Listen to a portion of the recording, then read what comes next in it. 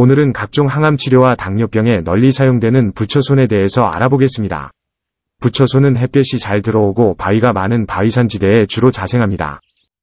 큰 특징은 습기가 없을 때는 잎이 말리면서 공처럼 오므라들고 습기가 있으면 다시 활짝 펴지는 습성이 있습니다. 맛은 맵고 달며 성질은 평하고 간경과 신경에 작용됩니다. 한방에서는 부처손을 권백이라 부르며 우림약으로 정제해서 꾸준히 먹으면 장수한다 하여 장생불사초라고도 합니다.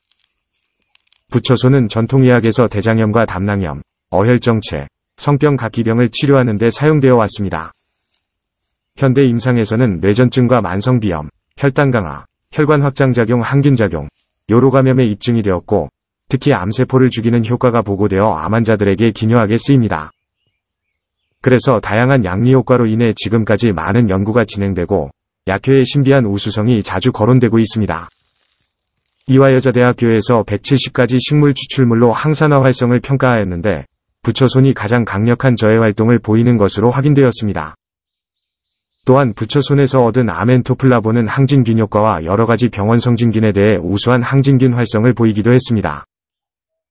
그리고 부처손 추출물을 복강에 주사하면 간암세포에 대해서 억제작용이 있었고 체외에서 배양된 인체 백혈병 세포에 대해서도 유효성이 나타났습니다. 결과적으로 부처손은 암세포 세포사멸을 유발할 수 있다는 점에서 항암 치료에 매우 유용함을 시사하였습니다. 임상실험에서는 20에서 40g을 달여서 복용하자 위암과 간암, 유선암 폐암, 자궁암 등의 효과가 있었으며 합성항암제 및 방사선 치료와도 협력 효과가 뚜렷하였습니다. 각종 항암 치료에는 부처손 전초 20에서 30g을 물 1리터를 붓고 반량이 되게 달인 후 아침과 저녁에 한 컵씩 복용하면 됩니다.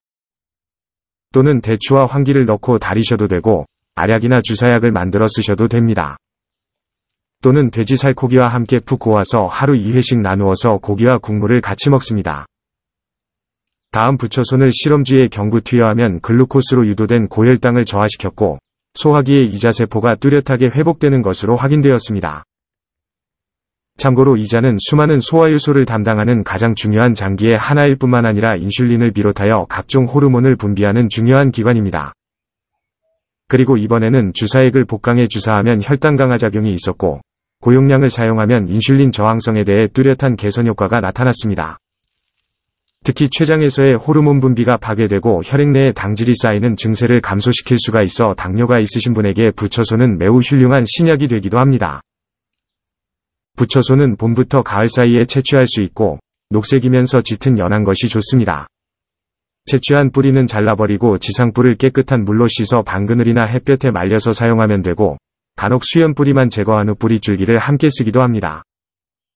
옛고서에는 채취한 것을 솥에 넣고 바깥쪽은 갈색 안쪽은 누른 빛이 날 때까지 센 불에 볶아서 맑은 물을 뿌린 다음 햇볕에 말려서 쓴다고 합니다. 내복할 때는 부처 손 10에서 20g의 대추 5개와 감초 한 조각을 넣고 물에 달려 복용하면 됩니다. 또는 환을 지어 가루내어 사용하거나 술에 담궈서 먹기도 하며 차로 달여서 몇 번에 걸쳐 우려 마시기도 합니다. 부처손은 미량의 알카로이드계 독성이 들어있어 수족이 차거나 하복부가 차가운 사람이 많이 먹으면 기운이 없거나 어지럼증 및 설사가 동반되기도 합니다. 또한 알레르기 반응이 일어날 수 있으니 환자의 병증에 맞춰서 용량을 잘 조절해서 쓰셔야 합니다. 시청해주셔서 감사합니다.